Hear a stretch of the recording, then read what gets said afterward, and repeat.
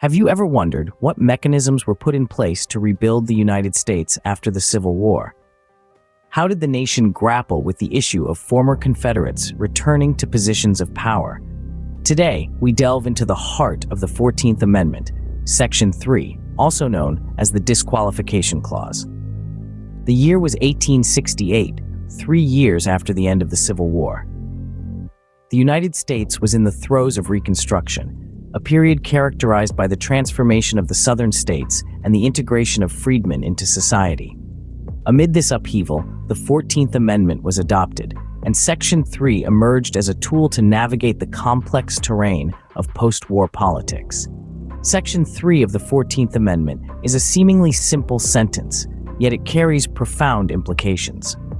It states that no person shall be a senator, representative, or hold any office, civil or military, under the United States who, having previously sworn an oath to support the Constitution, engaged in insurrection or rebellion against the same.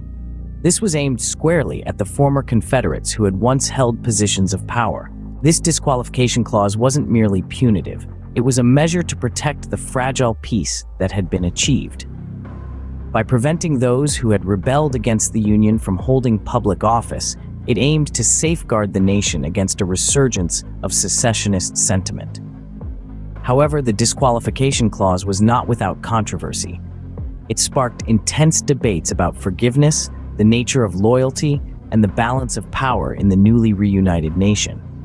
Over time, Congress would issue individual pardons, slowly allowing former Confederates back into the political fold, a process that reflected the country's struggle towards reconciliation.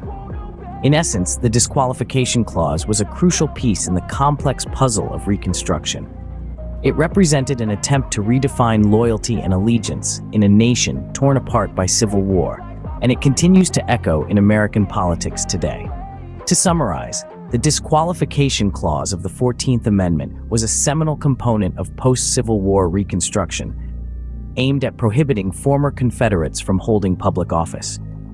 Its adoption marked a significant shift in the nation's approach to loyalty and allegiance, and its legacy continues to resonate in the American political landscape. Thank you for joining this exploration of the Disqualification Clause. This journey through history has given us a greater understanding of the 14th Amendment and its role in shaping post-Civil War America. Stay tuned for more insightful dives into the fascinating world of history.